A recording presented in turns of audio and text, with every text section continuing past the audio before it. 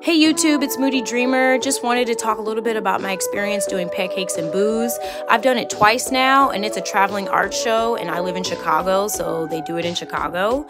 You definitely have to get there early if you want a really good spot. There are some spots that just don't have as much foot traffic, so you want to get a spot in the main room, and that's definitely first come, first serve.